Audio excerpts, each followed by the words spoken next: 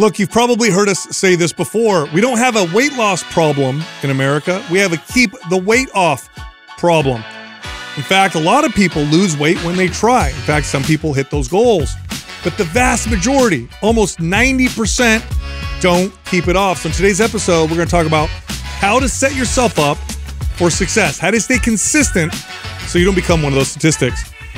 This one was a big challenge that I constantly revisited and tried to figure out for my clients. This was probably the big of all the challenges, this had to be the biggest ones. Like, how do I get people to stay consistent to do this for the rest of their life? Because that that it was frustrating. It was so hard. It was frustrating because, like, you, I mean, you pour yourself into these clients and you look back at sort of uh, all the different experiences each one of them had, and you're like, man, how did I not reach those ones in the very beginning? And like, where did that all go wrong? And, you know, revisiting that and then later in my career figuring out all these little things that needed to happen along the way to keep them engaged and into it was crucial. Totally. I think a big part of that is because we're in the service based business, right? Where someone comes in, they pay for personal training from you, and then they tell you what their goal is. Mm -hmm. Yeah. And so, it, especially when you're a young trainer, um, you're a little intimidated to say something like, "Oh, let's not do that yeah, goal that you're yeah. paying me for," or even tell you how to do it. Right, right. Or let's, you know, how about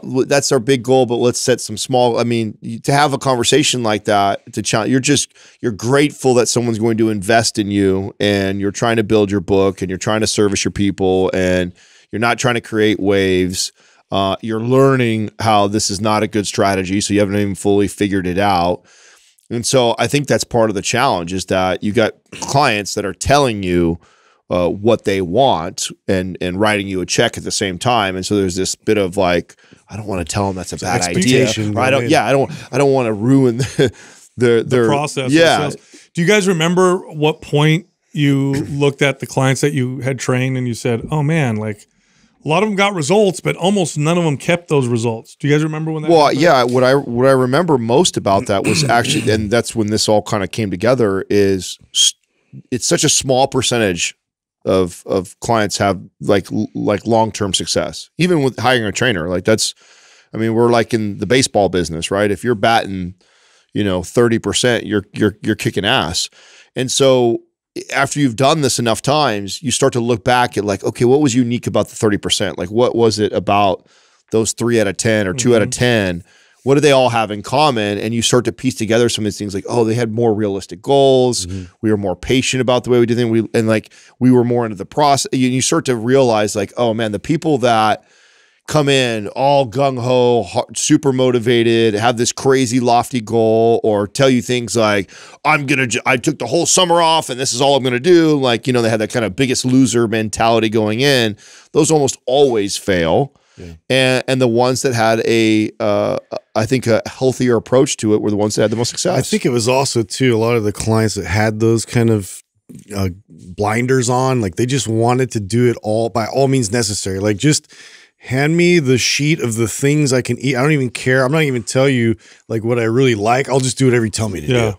And and I was always like oh, excited about that as a new trainer. I'm like, wow, they're really bought in and they're gonna, you know, get after it. And you know, that was so misleading because it wasn't it wasn't adopted as their lifestyle. This was just a means to an end. And yeah. once you get to that end, it's like there was no forecasting of how we were going to continue this. Yeah, well, the data is clear. Again, I've said this before. The, the data is clear. People, millions, millions of people lose weight every year.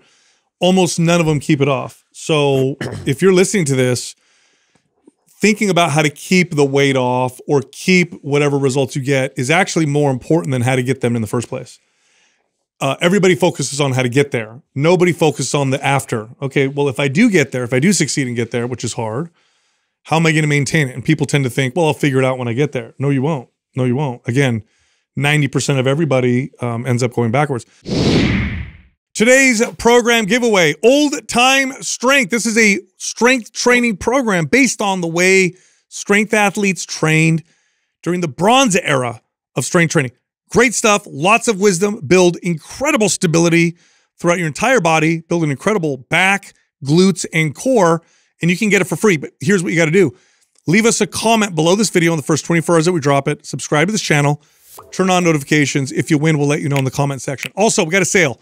That same program is 50% off right now. MAPS Old Time Strength, half off. MAPS OCR, Obstacle Course Racing Program, is also half off. If you want to sign up for an obstacle course race, follow this program. It'll get you ready. They're both half off. If you're interested, just click on the link at the top of the description below. All right, back to the show. Adam, you mentioned setting goals. I think this is the first the first most important thing, which is to set appropriate goals for yourself. And for coaches and trainers listening, help your clients set appropriate goals. Now, I know what the data says, like with weight loss, for example. The data will say that if you do everything right, if you change your diet appropriately, if you exercise consistently, you can lose about one and a half to two, maybe two and a half pounds of body fat a week. And I remember when I learned this as a trainer, and this became the way I set people's goals. Oh, you need to lose 30 pounds? It'll take us 15 weeks because that's what the data says. Well, the data is based off of you doing everything perfectly.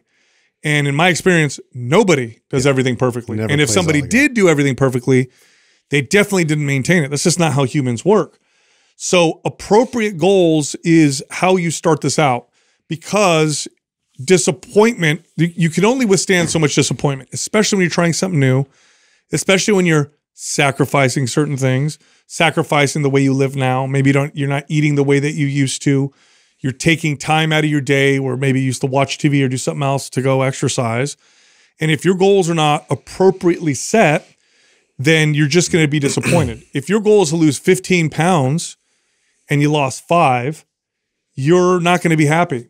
If your goal was to feel better and you lost five pounds, you're excited. Wow, what a surprise. I lost five pounds. I feel better. And I lost the extra five pounds. This is incredible. This makes a huge difference. And I would always, always towards the towards the back half of my career, this is what I would always do. People would tell me their goal. I would tell them, this is what the data says. If you do anything perfect, then I would explain to them, nobody's ever done anything perfect. So the reality is losing 30 pounds is going to take you a lot longer than 15 weeks. It's probably, probably going to take you two to three times as long as that by doing things relatively consistently. And if you don't, it's going to take even longer than that. And that's just the reality. Do you want to stop or do you still want to do this? Yeah. And everybody says, I still want to do this. But we have to set the precedent right right out the gates, set those appropriate goals. It takes a bit of thought. And I mean, the, the best analogy immediately that's like the total obvious one is like the snowball effect. Like if you're you're taking on just a little bit at first it's like it's something that you know you can accomplish it's something that's not like such a stretch outside of your everyday lifestyle and activities um, and that's just something you, you start to build you start to build that and then you can still introduce another thing and then another thing but you have to think about all those little accomplishable goals in order to stack them properly yes so that way then it can lead into bigger uh, leaps and, and bigger uh, progressions that you're going to be able to attain, but you have to be able to stack that appropriately. Another, another part of this appropriate goals is that um, weight loss is not the only goal. There are other goals, and I would make sure to set these for my clients uh, that are that tend to happen before the weight loss. And so I'd say, okay, I know you want to lose 30 pounds, but here's some goals I'd like to see, and I think that you'll accomplish relatively soon. You'll start to feel stronger, so you'll notice that we're doing exercises that feel difficult today. That as we continue to do them over the next couple weeks, you're going to feel a lot stronger. And I'll show you. I'll show you how much weight you're using doing now, how many reps you're doing now, and how much you've improved. That's going to happen almost immediately. You should feel better. You should notice less pain, and you should have more energy. So let's figure those out. Let's talk about those happening first because then they happen. That's those will actually happen without any weight loss, and people will say, "Oh wow." I'm moving in the right direction. Well, understanding uh, what appropriate goals is too in relation to like um, what a client might think is ideal for them. Meaning, um, we could lose 15 to 20 pounds in a month. That's that's possible. If I cut someone's calories hard enough and I make them move like crazy, and they come in and they say, Adam, I have 100 pounds I want to lose, I could show them 20 pounds off in a week. And so, but that's not an appropriate goal and it's not an appropriate goal because I know that it's not the healthiest, best, and fastest way to get them to their long-term goal. Right. Create setbacks too. So, but a lot of people don't understand. I was just having this conversation uh, over Thanksgiving holiday. Is you know almost everything in our life, the the more effort, the more you put into it, the more you get in return. Uh, you study harder, you try and learn a language, you uh, work hard at a job Uh, you get paid like you get more return for the greater effort you put towards almost everything else in your Mm-hmm. life. Unfortunately, body composition change is not that way. It's a it's a it's a fine line. It's a it's You're a working with your body. that's right. It's a science, and there's a dance, a delicate dance there with many factors. And so, teaching a client that you you know it, setting appropriate goals also is showing them not not only like okay. It may be possible for you to lose 20 pounds, but it's not appropriate. And the reason why it's not appropriate is it's not sustainable.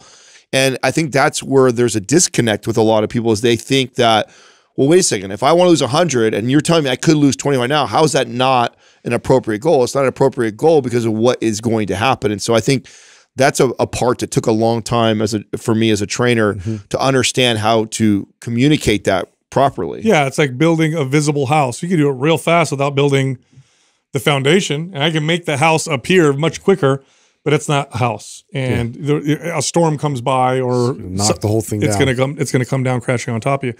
Part of this is to make the approach because you have your goal, you set your goals up, you make them appropriate, and you also have a complete picture of goals.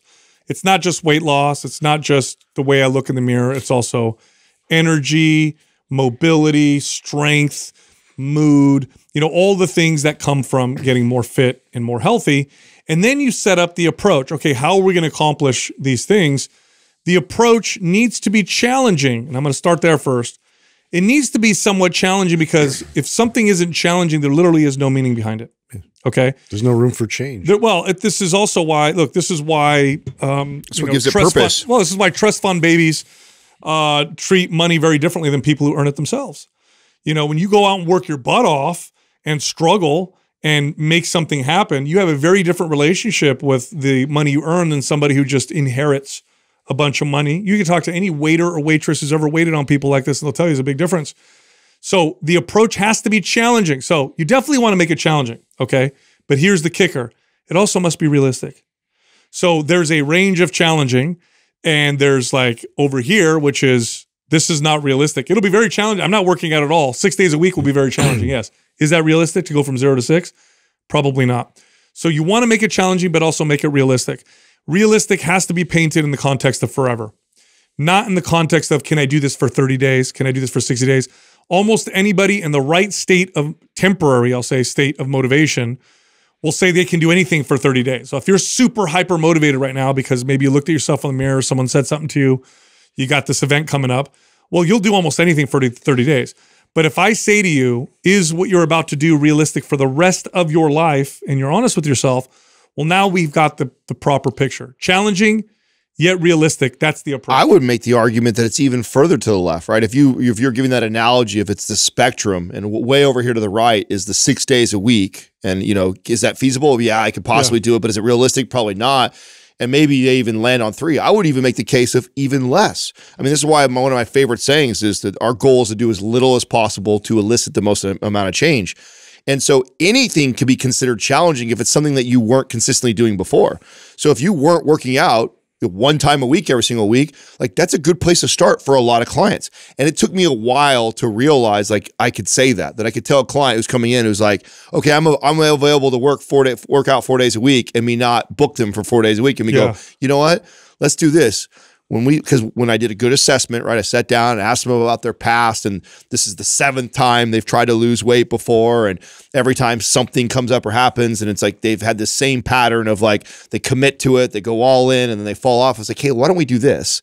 Since this is we've we've failed at trying to do this seven other times, why don't we set a real easy goal right now? But it's it's different. It's a challenge. It's not something you're doing currently right now.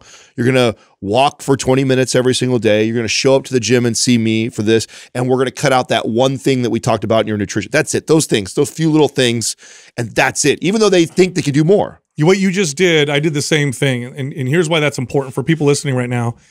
It's not that you're under uh, shooting, you're you're you're undershooting yourself, or you're uh, you're, you're you're estimating lower than what you think you can do. It's because when you make these goals, you tend to make them in a motivated state of mind. In a motivated state of mind, will always you'll always convince yourself you're capable of doing more than you probably can long term. So if you say to yourself, like, okay, well, I'm not working out at all, and you know they said make it realistic forever. I think I can maintain three days a week. Also say to yourself, like, well, I'm kind of motivated right now, so let's go one.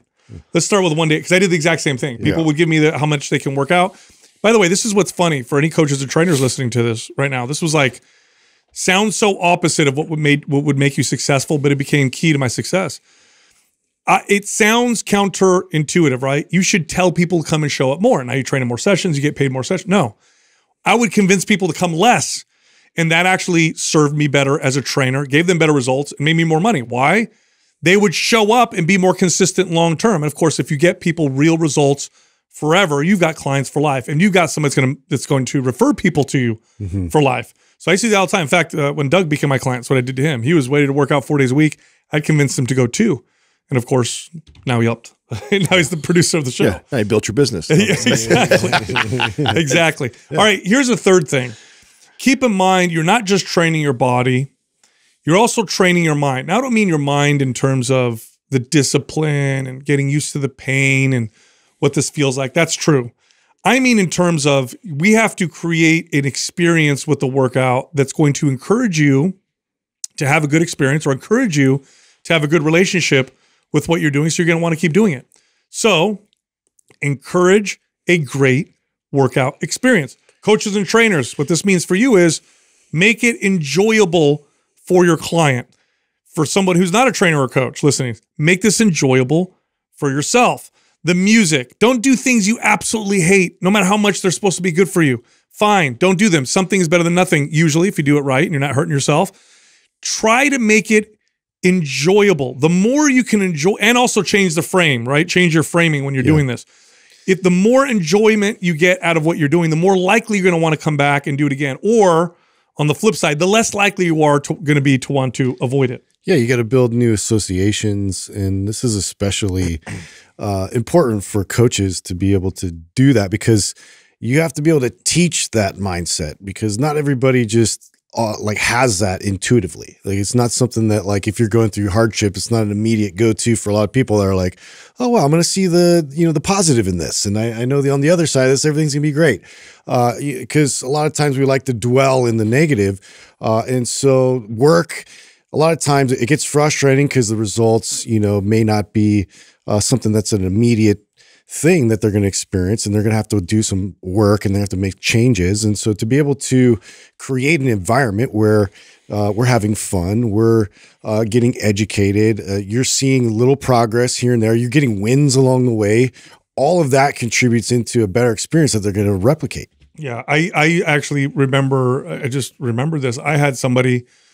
I was trying to get them to do, be more active on the days we didn't work out. She would show up to the workouts with me, which was great, but we had reached a point in our you know training relationship where she was just it was just really hard for her to be consistent. She's like, I hate it. I hate going for walks. I'd rather sit down. I'm so tired or whatever. I love to sit down and read. And I said, what if you listened to your book while you walked? She, and I mean, it sounds obvious. People listening right now, oh, duh, that's stupid. Mm-hmm. It was. It wasn't so obvious to her. She thought, "Oh, of course. And I said, listen, you love your book. I bet you'll probably walk further than you would have if you didn't listen to it. And sure enough, that's what happened. She would set out to walk for 15 minutes. She would get caught up in the book. She'd end up walking an additional 15 minutes. Just one simple example of finding ways to make your workout enjoyable because that's very important. It's very important you find a way to enjoy what you're about to do. I think I think the biggest one out of because there's a lot of different things that could make it more enjoyable for for each individual client. But I think the most common theme that I saw was the the punishing themselves or feeling like you need to feel, and I'm guilty of this, like you need to feel like you got crushed in your mm-hmm. workout for it to be like considered survived. yeah, to be considered it was a good workout. And you don't realize and you don't realize what a what a bad relationship that you're setting up with exercise by treating it that way. And it's so ass backwards because I remember thinking to myself like a walkout like limit, like, oh yeah, that was a good workout. And then I'm like sore for three or got four days. Yeah, three or four days. I don't want to do any training after that. I don't even want to get up off the couch because I'm so sore. And then I also associate like that, and I still thinking even after I felt that way, like that was a good workout. And then the mindset that I would need to get to the gym because because I know I'm that's, That's coming. Right. That's right. And so it's such a it's such a weird uh, relationship that we tend to have with with exercise, and I feel that's one of the most common ones that you need to feel that way. So shifting it over to I actually want to have this workout, and I actually want to leave with more energy than what I had coming in. That's really hard for people to wrap their brain around. They think you need to go to the gym and you need to expel everything you got in you. Just to back you up, Adam, there's a there's another part to this. Beating the crap out of yourself is not the fastest way to get to your goal either. Because someone listening might be like, "Well, it'll be worth it to beat myself up because I'll get there faster." You won't. That's not how it works. Now, the occasional really hard workout is totally fine, but for the most part, especially when we're looking at this long term, you're looking at this, and you're like, "Okay, I want to." I want to get to this goal. I want to be able to maintain this goal. I don't want to gain the weight back. I don't want to get back out of shape. I don't want to stop. Well, beating yourself up doesn't get you there any faster. Number one, you have to work with your body. Every good trainer and coach know this, knows this. Every good athletic coach knows this. You have to work with your body. That means it's going to be challenging. So I'm not saying your workouts are like sitting on the couch, but they should not make you feel like you survived. You should definitely leave, like Adam said, feeling more energized than you went into it. Your body will respond better. Your body will adapt better. You'll build muscle better. You'll burn body fat faster as a result. You won't hurt yourself. Okay. It's just a better way to work out. But also, even the the the the, the greatest masochist does not will not enjoy beating the shit out of themselves for the rest of their lives every single time they show up at the gym. At some point, you're going to be tired, and you're just going to be like, I don't want to do that. I don't want to go through that that pain and that just cr- you know hammer. Because by the way, here's the deal: beating the crap out of yourself, you can always do that. What I mean by that is you become more fit if you have the attitude to beat the crap out of yourself. You just train harder, and then oh, now I'm more fit. I'm going to beat the crap, and so it's like every workout becomes survival. At some point, your body's going to tell you, "Hey, the best way to survive is to skip this," Well, it also and that message gets real strong. it also promotes this all or nothing workout where it's like I either got to crush it or I'm not going to work out at all.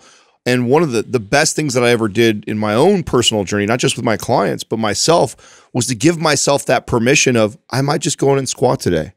I might just do a mobility day today. I might do two exercises and then leave the gym. Right. I may work with a quarter of the weight I'm used to working out mm-hmm. with.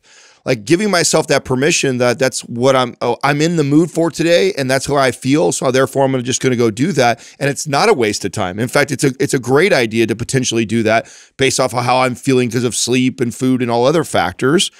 And it wasn't until I gave myself that did I become even more consistent with my training. And so, and I think that's what we're looking for from 90 plus percent of these clients it- is to teach consistency. It masks the signals that your body's already giving you. Right. Right. If you're pushing through all the time, if you're not really listening and being in tune with your body at that point, uh, because you're trying to force it in a direction that, uh, you know, your, your body's trying to signal and tell you, like, hey, maybe not as much today.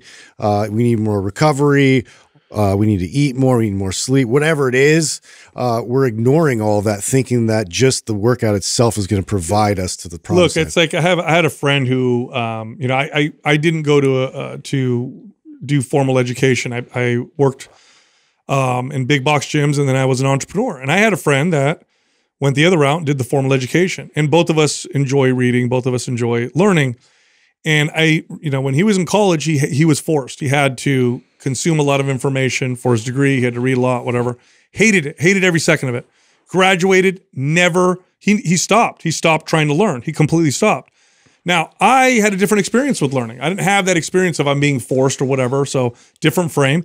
And I never stopped. I'm still doing it. So, this is what happens to you if you beat the crap out of yourself all the time. Not only do you not get the best results, not only will your body probably plateau or you'll hurt yourself, but you're going to develop this relationship with exercise where you're going to stop. You're going to stop. And that's the bottom line. It's not going to be able, you're not going to be able to maintain it, even if it does get you good results, get you good results. Now, the next point is to point out the progress and the wins to yourself. Now, this is a broad category. Okay. You have to be where you place your focus is what you end up seeing. And where you're not focusing, you miss. So you're probably already watching the scale and you're probably already looking in the mirror. Okay. That's fine. Also, pay attention to the reps, pay attention to the weight you're lifting. Those are also pretty obvious. How about pay attention to the energy that you have? You wake up in the morning. Do I need as much caffeine? Wow, when I get up off the couch, I feel so much better. That knee pain seems to be going away. When I do physical work around the house, I have more energy. When I play my kids, I get on the floor mm-hmm. and I can play with them and I don't feel so out of breath or wow, look at all these grocery bags. I'm, you have to really focus on all of the different wins that you're getting because fitness is a lot. It's a lot more than fat loss and muscle gain. It's a lot more than changing how you look. That's the evidence of the of the fitness. But fitness itself produces a lot more than just those things.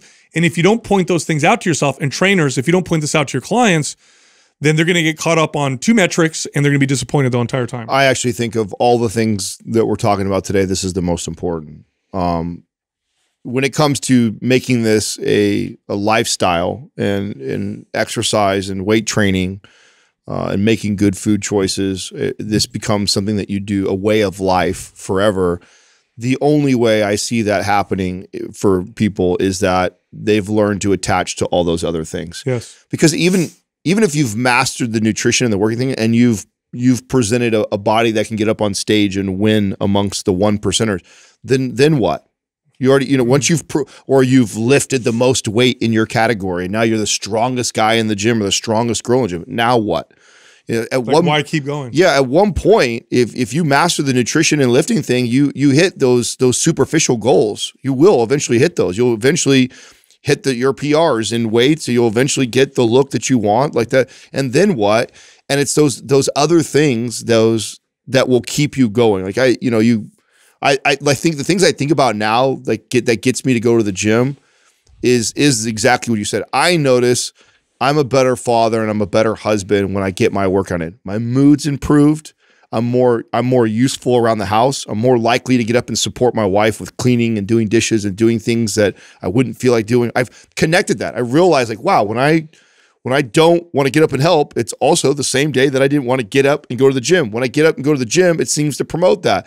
I'm more active with my son. I'm more willing to get down on the ground and play with him and wrestle and do that. When I don't, I feel lethargic and tired. I want to sit on the couch and be lazy. It's like, and man, those things, being a uh, being a good father, being a good husband, a, a good leader in my family, those things have trumped any physical goal I ever had for myself or any PR in the gym that I'd ever want.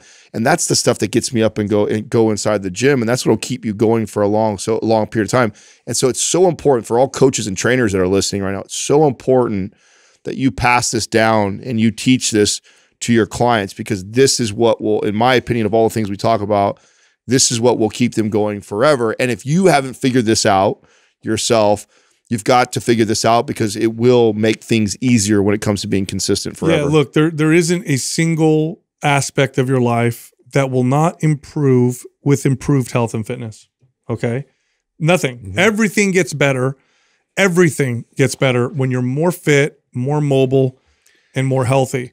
And the only reason why people miss all of this is because they don't look at it, they don't pay attention to it. It's funny when I when I have clients and I'd ask them these questions, they would always look at me and go, "Oh, my sleep, it is a lot better. Hold on, this is mm-hmm. really weird. I am sleeping. Like I used to wake up three times. Now I'm not.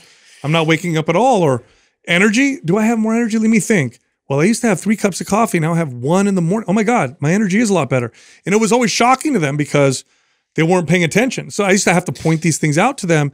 And then when they were able to connect the dots, man, they wanted to work out no matter what. Yeah, well, I mean, it's it's like when you have more energy, you're you want to get up and you want to do things. You want to be more active with other people. You want to be more social. Your relationships benefit.